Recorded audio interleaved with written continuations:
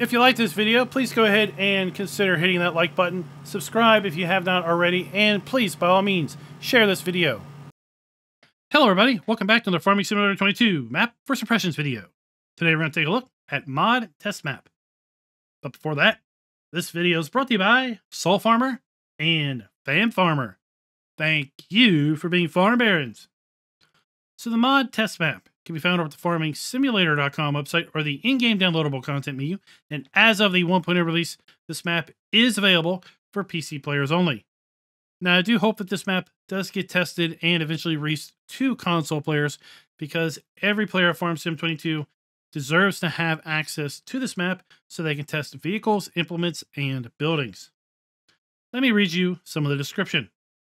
Hello, this is a test map for Farming Simulator. On this map, you can test and try out your vehicles, machines, attachments, and buildings.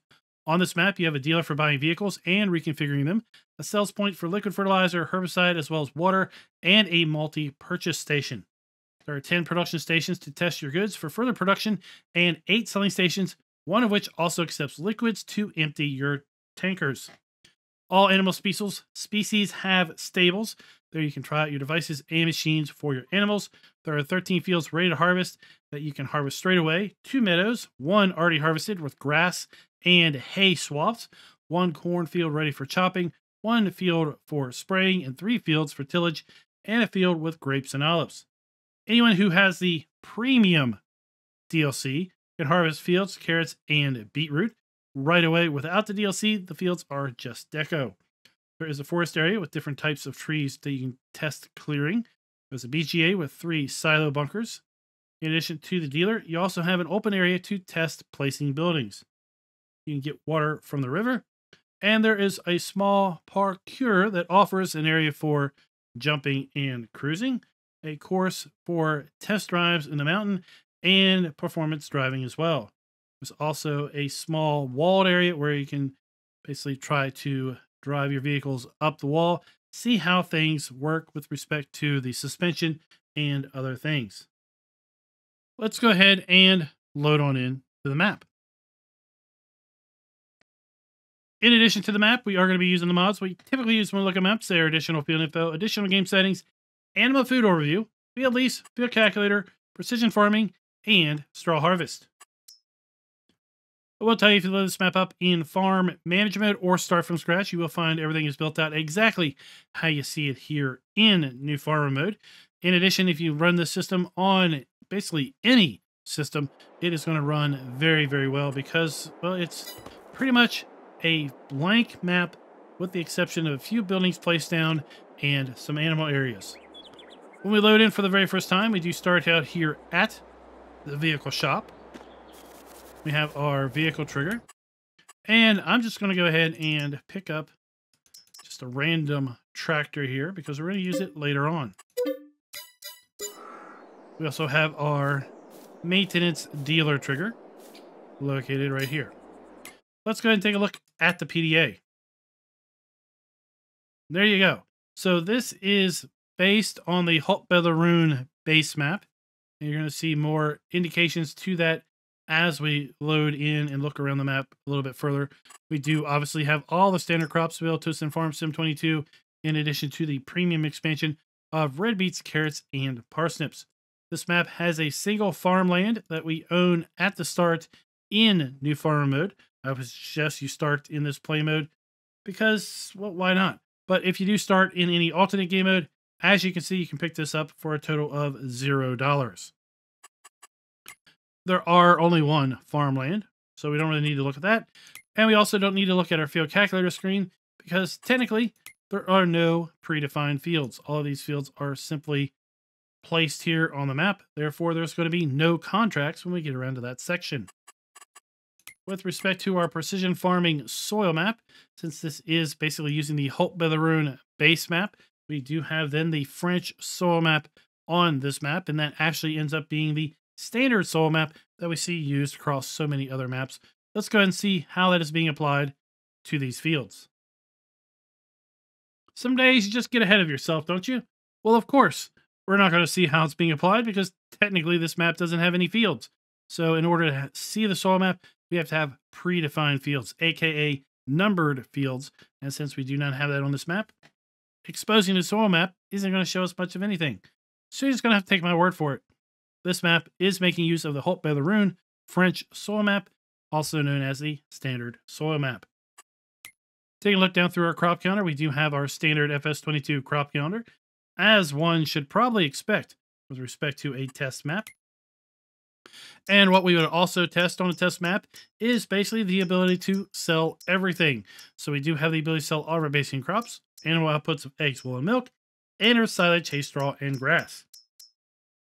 We also have the ability to sell all of our base game production items. In addition to that, we do have the ability to sell lime, and we also have the ability of selling our stones. With respect to our farm production pack, we do have the ability to sell those at the selling station for everything. And we also have the ability to sell all of the platinum expansion production items. And what you're going to see is we do have the ability to sell also our premium expansion production items as well as crops. We also have the ability to sell our separated manure and our hay and straw pellets.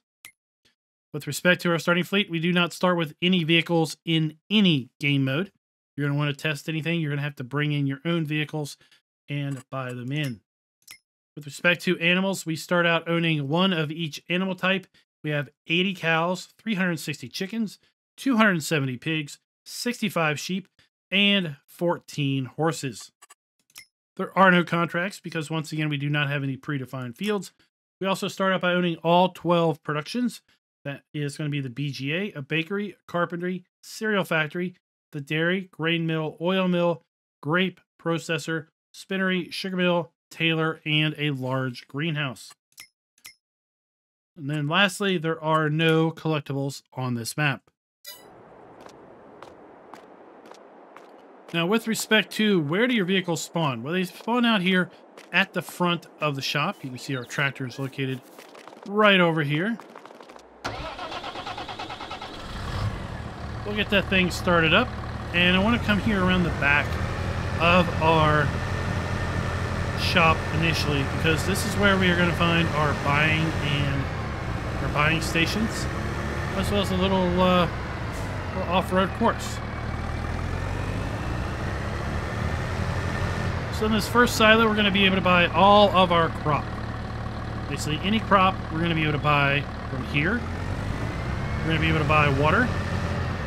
We're going to be able to buy seed, lime, and solid fertilizer. And we're going to be able to buy our liquids in herbicide and liquid fertilizer.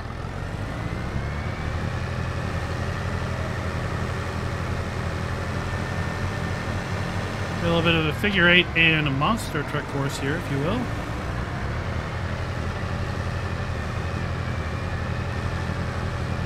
Test our vehicles, see how well they are with their off-roading.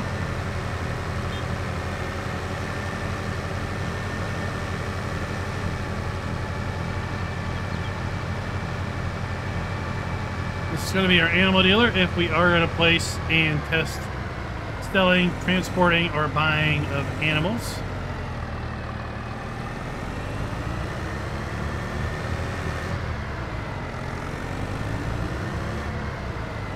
A bit of a slalom course here.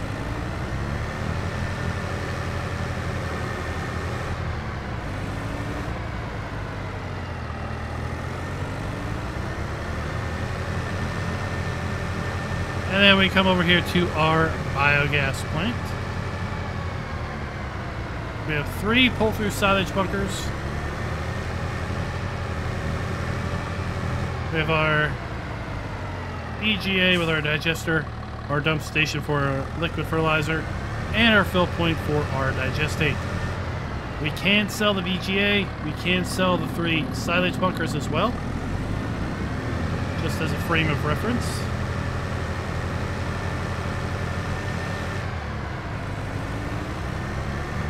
over here we have kind of a skid pad.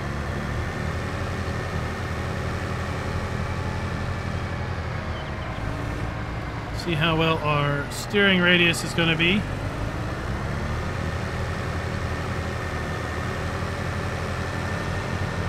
If you do that too much, you all might get a little sick. You know, can't, can't have anybody getting car sick.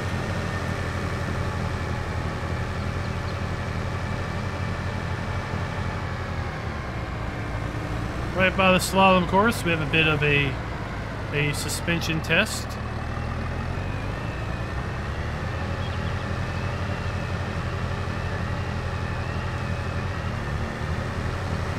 Vehicle's ability to climb hills. R we test our vehicle's brakes.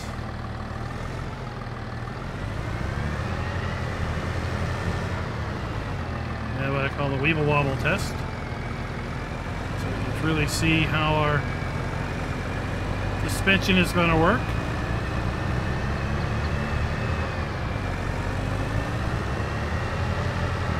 And then we have multiple kind of speed bumps to see how well and your suspension is going to operate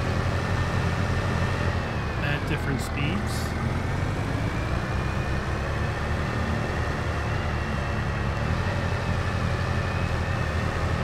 This is why I really wish we would see this come to all platforms because I think I think everyone deserves to be able to clearly put your vehicles through the test before you go and add them to your various save games.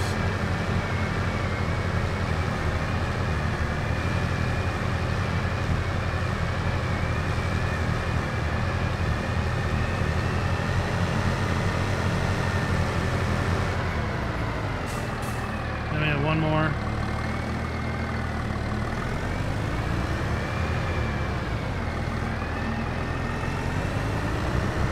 Now we have our bakery. I'm going to call this production row. So we have our spinnery. All these are base game structures. We know where all these triggers are going to be. We have our cereal mill, our carpentry, our dairy, our tailor, our flour mill, stone crusher. And now we move into various sell points. Mama's Diner, restaurant, oil mill, pizzeria, grape processor. We have our grocery. We now have our greenhouse. And then over here we have a general dump station. This is going to be the literally catch-all of sell everything.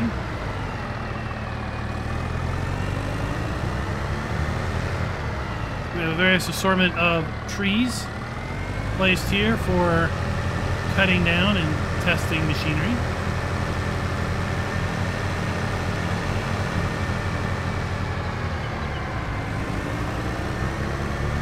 And then we have our animal row. So we have our cow pen. We have our pigs. We have our sheep. We have our chickens, horses, and we don't want to forget about our our bees. So we also have our bees over here. We have a farmer's market sell point. And then we have a silo for storing and filling of trailers.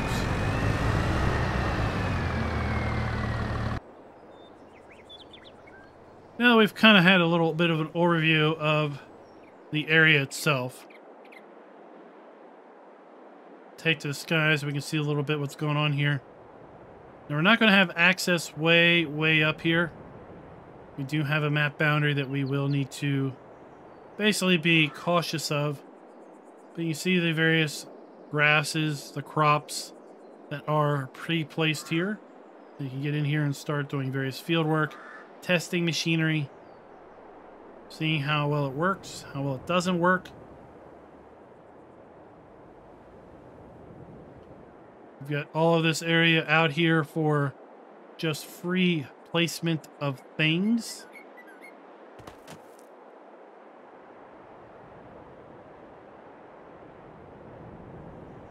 Our root crops are going to be on the other side of these trees, as well as our grapes and olives.